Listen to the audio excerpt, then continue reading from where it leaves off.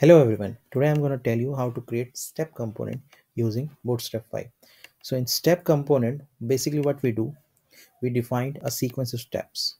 We can use it for navigation also, we can use it for progress also. Okay, to create step component, I need three things. First, this buttons, then this line and the showing and hiding of content. To show this buttons in the rounded structure, I created a flex div and using justify content around i can put them into spaces.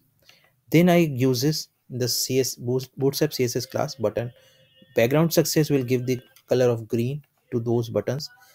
Text white so that you can see the content in the button. Then the button should be a small size. And then rounded pill will give it a round of structure. But it will not properly be around. So what we need is bit of height and width to make it proper round this is the first step. This will make these buttons. The second step that is needed is to create the line. So for creating a line what i did is again i created a span with the green color which background success does. Then i given it a width of 25 percent. Then i give that the line also should be around it. If you see the corner will be around it. Then i did mt auto mb auto mu1 ms1 so mt one is mt auto is nothing but its margin from top is auto margin from bottom is auto.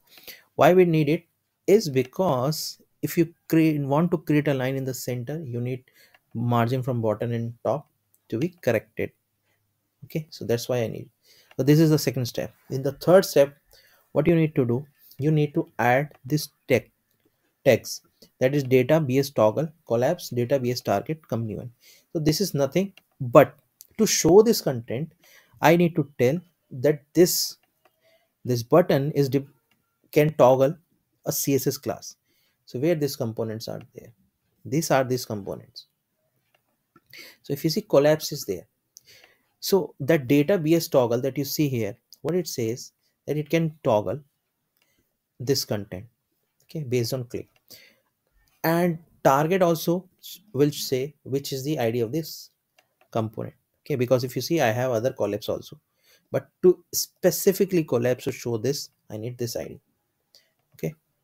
And the show is used show that you can show the content in initial step.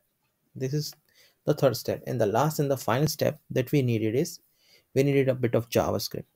So if you see what what it does i am fetching the collapse class and whoever is in show i'm hiding it and i'm showing the current one.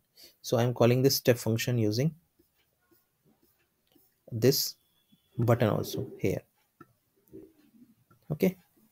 So this is a step component. Hope you like it. If you have any question please you can ask in comment section. I have given the github repo link in the description section also thank you guys